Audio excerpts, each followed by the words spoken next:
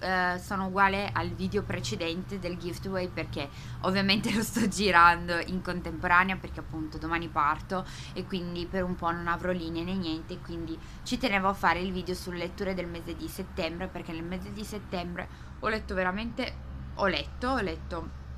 un po' e ehm, ho letto anche delle graphic novel molto belle che però non ho mie mani perché le ho prestate quindi, quindi vi metterò praticamente la foto. E eh, nel mese di settembre io ho letto come graphic novel Kobane Calling che come sapete è una delle graphic novel più belle che io abbia mai letto e comunque ne leggo parecchie di graphic novel. E eh, una, ne ho parlato praticamente nella nel video in cui vi parlo e vi consigliavo i libri, le graphic novel da acquistare della, edite dalla Bao eh, dalla Bao Publishing e quindi vi linkerò qua sopra il, i vari video relativi appunto a Cubane che eh, conta più o meno 200 pagine eh, e un, un, diciamo un diario eh, a fumetto del viaggio di Zero Calcare in Siria comunque ne ho parlato ampiamente in quel video ho letto nel mese di settembre Nimona che è stata un'altra graphic novel eh, diciamo stupenda ne ho fatto una recensione Uh, sotto vi linko appunto sotto anche il, un blog in cui appunto recensisco i, i vari libri graphic novel che leggo. Nimona è un, praticamente un gellino, non è bello mh, quanto Kobane ma perché trattano due argomenti differenti, uno è un argomento molto più diciamo complesso rispetto a quello di Nimona, non per questo Nimona comunque non è da leggere. Un'altra graphic novel che ho letto uh, nel settembre che ho prestato è appunto uh, A Real Life vi ho, vi ho, detto come me è piaciuto comunque come graphic novel nonostante il prezzo sia un po' troppo alto secondo me per una graphic novel che forse non è del tutto completa quindi rispetto a um, Nimona di Noel Stevenson oppure rispetto a un Kobane Calling a Real Life è nettamente diciamo inferiore non per questo però non è bello. È bello e parla praticamente di come internet possa essere utilizzata come una risorsa per quanto riguarda le comunicazioni per quanto riguarda il, le le, diciamo, la velocità con cui si possono trasmettere informazioni e così via. Poi per quanto riguarda i libri, allora ne ho letti, mh, mm, mi pare 5 o 6 Uh, ne ho letti 6. Allora, i primi due sono, ne ho fatti anche qua un video dove li ho analizzati attentamente, ho fatto anche appunto una recensione sul blog ed è La vendetta del diavolo di Joe Hill.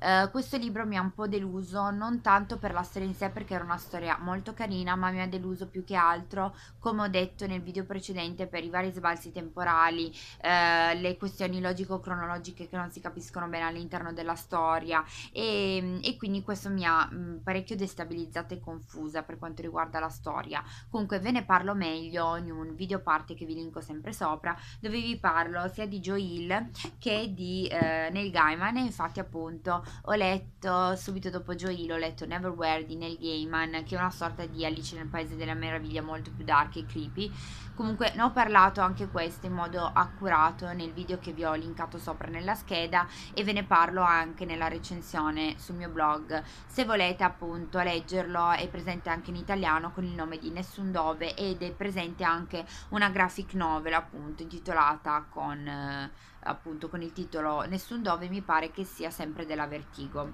Poi ho letto um, uh, ho letto appunto Messenger of Fear, anche questo in lingua, ve ne ho parlato ampiamente nell'ultimo video che vi linko sempre sopra. Eh, questo libro è stata una piacevole scoperta perché come vi ho detto non vi parla di horror ma è appunto un,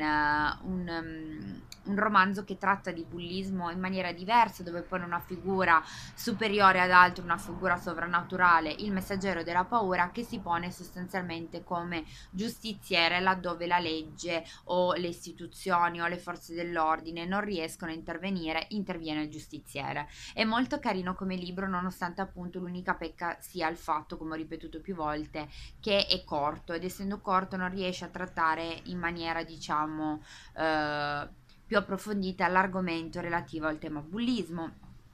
ho finito uh, il Trono di Spade di uh, George Martin, appunto il dodicesimo libro è finito, uh, La danza dei draghi, spero che Martin si sbrighi a scrivere il, il tredicesimo, perché come vi ho detto sono in trepidante attesa. cosa dire, qua vengono praticamente ripresi tutti i personaggi, quindi non abbiamo più dei libri che riprendono soltanto Daenerys, Brienne, Cersei o altri libri che parlano di Jamie, Tyrion, Tyrion, John, eccetera, quali abbiamo praticamente quasi tutti. E ehm, conta in realtà eh, 300 pagine perché poi per il resto inizia la nobile casata, eccetera. E come sapete non corrisponde alla sesta stagione perché la, sta- la sesta stagione della serie tv è basata su un canovaggio improvvisato diciamo di eh, Martin che ha dato due o tre linee guida sul tredicesimo libro. Quindi non vedo l'ora di leggerlo nel momento in cui lo scriverà ho letto poi, eh, sì ve l'ho detto, ho letto parecchio, ho letto eh, Don Quixote della Mancia di eh, Cervantes. Allora, cosa dire? Questo libro è un qualcosa di meraviglioso, io l'ho scaricato in ebook. Cosa dire? Allora, eh, non credevo, in realtà ero abbastanza intimorita nell'approcciarmi a leggere quel libro sia per il numero di pagine perché conta 1300 pagine, sia perché eh, credevo che fosse un, un, vero e proprio mattonazzo classico. In realtà è una meraviglia, quel libro è veramente stupendo perché nonostante sia stato scritto nel 1606, la prima parte e poi nel 1615 la seconda, devo dire che tuttora quel libro fa ridere. Eh, è un libro appunto un romanzo tragicomico, eh, rientra nei romanzi moderni occidentali e Cervantes devo dire che ha un umorismo allucinante, cioè ancora oggi nel XX secolo mi ritrovo a ridere ma proprio di gusto leggendo le avventure di Don Chisciotte. Ho voluto approfondire meglio l'argomento e devo dire che Cervantes è praticamente un genio nel senso che ho notato alcuni elementi della vita di Cervantes che si andavano a ricollegare alla vita di Don Quixote. Ma parliamo chi è Don Quixote? Don Quixote è un uomo che dopo le varie, dopo aver eh, diciamo letto tantissimi libri, un po' come facciamo noi lettori, no? Si è talmente immerso nelle storie e ha talmente preferito la realtà e diciamo delle immaginarie fantasie scritte nei libri a quella vera che impazzisce. Impazzisce e decide di diventare cavaliere errante e vivere le avventure che egli leggeva nei vari testi in cui veniva ripreso, diciamo, l'amor cortese e gli ideali cortesi dell'epoca. Quindi è eh, carino perché la sua follia comunque ha una logica, nel senso per diventare cavaliere ha bisogno di alcune armi, quindi va a prendere la spada, va a prendere la lancia, va a prendere un morione che è l'elmo e la celata, la celata se la fa addirittura di cartone, quindi sono un po' delle armi rudimentali che si crea, ha bisogno di un, di un, di un cavallo e quindi prende il suo ronzino chiamandolo ronzinante e paragonandolo al bucefalo di Alessandro Magno, soprattutto per rispecchiare l'ideale cortese Don Chisciotte ha bisogno di un'amata e appunto eh, per questo lui prende diciamo come ideale di amore Dulcinea del Toboso che in realtà è un'altra è una donna che si chiama Alonso eh, scusate si chiama mm, Aldonza Lorenzo che è sostanzialmente una contadina che vive nel paese a fianco e lui però decide che questa è una bellissima principessa e la chiamerà Dulcinea del Toboso. Lui stesso Don Chisciotte non si chiama Don Chisciotte, lui si chiama Alonso Chiana, che è appunto questo nobile decaduto che impazzisce e eh, decide appunto di diventare cavaliere errante. Ci sono poi tutte le varie avventure che sono veramente molto belle e divertentissime, avventure dove eh, lui scambia magari una locanda per un castello e l'oste per un castellano e si fa investire cavaliere. Ci sono degli altri momenti in cui magari scambia dei benedettini per dei maghi che hanno fatto un incantesimo e quindi si butta a capofitto in queste avventure e ovviamente è molto bella anche la figura di Sancho Panza. Uh, Sancho Panza appunto era il contadino di Alonso Chiane, quindi il nostro protagonista che diventa un po' il suo scudiero e che fa un po' da uh, controbilanciamento, controbilancia diciamo la follia di Don Chisciotte, da una parte c'è Don Chisciotte e la sua follia e le sue diciamo avventure immaginarie che proietta nella realtà vedi il fatto che lui scambia dei mulini a vento per dei giganti e dall'altra parte appunto abbiamo Sancio Panza che fa un po' la parte razionale come se in realtà questo, l'essere umano si è diviso nella parte reale, nella parte, nella parte razionale, scusate, nella parte irrazionale, no? E eh, la parte razionale è Don Quixote dell'essere umano, la parte razionale è Sancho Panza. Eh, diciamo che appunto a me è piaciuto veramente tanto perché nonostante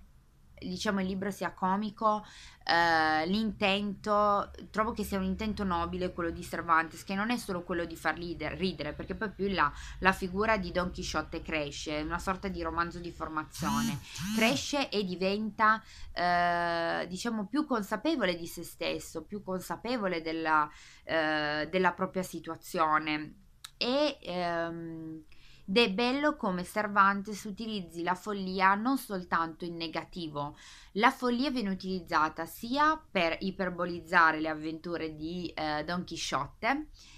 e sia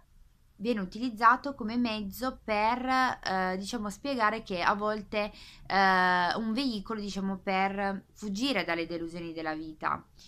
ed è la stessa cosa che ha provato Cervantes. Cervantes, io ho letto la sua vita ed ero rimasta affascinata dal fatto che lui a 22 anni, dopo aver diciamo studiato, scritto eccetera, va in guerra, eh, partecipa alla battaglia di Lepanto dove appunto i cristiani vincono sui turchi. Peccato che mentre lui è sulla nave di ritorno a Napoli insieme a fratello Rodrigo vengono catturati da dei corsari arabi e rimarrà prigioniero d'Algeri per ben 5 anni. Lui di questa cosa ne patisce un, un, sacco, ovviamente, e patisce anche il fatto che in realtà era stato incantato, no? anche lui dalle gesta che venivano narrate nei vari libri dei cavalieri, dei guerrieri e tutto, mentre in realtà poi scopre che in realtà uccidere una persona non è così valoroso come è scritto nei libri che non è vero che esiste lealtà tra eh, combattenti, diciamo che vuole creare una sorta di disincanto nel lettore dell'epoca, andando appunto a iperbolizzare eh, gli ideali cortesi dell'epoca che vengono rappresentati molto bene da un Don Chisciotte goffo e quindi ridicolizzando la figura di Don Chisciotte, quindi cercando di creare una sorta di disincanto nella vicenda. Comunque come, come av- avrete ben capito, mi è piaciuto tantissimo Don Chisciotte, veramente mi sono fatte delle grosse grasse risate che non credevo. Poi ho letto, anzi sto leggendo in corso di lettura, Amamelide. Allora ho scoperto, perché io lo scopro sempre dopo, che c'erano degli ebook gratis sul Kindle e uh, Valeria Furlan mi pare, comunque vi metto il la foto. È un ebook molto carino, devo dire che mi sto trovando veramente bene a leggere, a leggere appunto il, il libro di, di, questa ragazza che sostanzialmente eh, narra le vicende eh, in contemporanea di eh, Vanessa, una ragazza che appunto vive nel nostro periodo, nel ventunesimo secolo e che viene bullizzata, anche qua è molto importante il tema del, del bullismo, viene parecchio ripreso nel, nel libro, e dall'altra parte le vicende di Gabriel, un ragazzo vissuto nel 1300 eh, che appunto scopre la magia e quindi appunto si parla di streghe eccetera e quindi mi sta piacendo veramente molto. È scritto in modo semplice però coinvolgente. Uh, per quanto riguarda gli haul, devo dire che uh, per quanto riguarda appunto gli haul, sono stata contattata da due autori Uh, allora, uno è Federico, avevo già letto appunto la trilogia del codice della strega, adesso mi sono scaricata, mi devo leggere uh, il quarto libro della saga. Che continua sostanzialmente e quindi ringrazio tantissimo Federico quindi ringrazio veramente tantissimo Federico spero che in questa settimana in cui andrò al mare di riuscire a leggere anche il suo libro. E inoltre mh, mm, ho, ho, ricevuto anche due ebook di Bianca Cataldi che è un'altra autrice emergente ed è appunto i libri sono Riverside e Dollhouse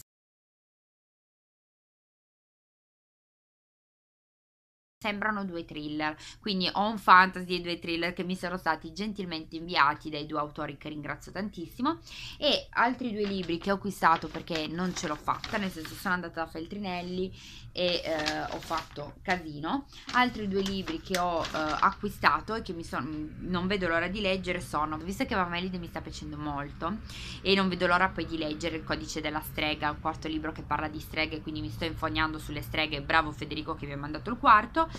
um, non ce l'ho fatta e ho acquistato Antiche Voci da Salem